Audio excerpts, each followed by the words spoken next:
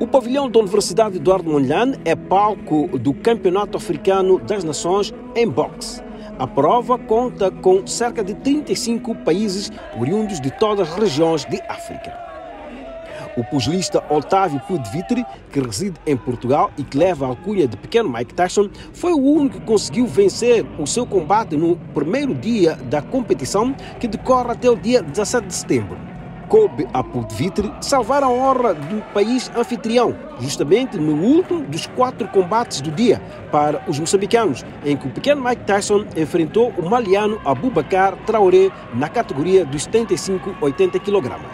Agora, Pudvitre já está apurado para as meias finais desta competição e espera chegar à medalha de ouro. Foi uma boa vitória, foi uma vitória para todos os moçambicanos. Foi uma vitória, como disse, mais com o coração do que com a cabeça. Temos a pressão de ter três derrotas, então vinha com aquela pressão de conseguir uma vitória para, para Moçambique. Eu já sou profissional, eu vim cá pedido do, do, do, do, do secretário de Estado e do Gabriel Júnior para representar e dar força à nossa seleção e, uh, e vim cá mais para abraçar o projeto e com os mais jovens e mostrar que somos capazes de conquistar alguma coisa. A medalha já está garantida. Desilusão foi o sentimento dos moçambicanos após o combate de estreia num africano por parte de Tiago Muxanga, que teve um combate disputadíssimo do primeiro ao último assalto, diante do argenilo Youssef Islam Yaishi, na categoria dos 67-71 kg. Tiago Muxanga acabou por ser eliminado precocemente desta competição. Foi um jogo difícil, renhido, dei o meu máximo e foi o que aconteceu tive a derrota.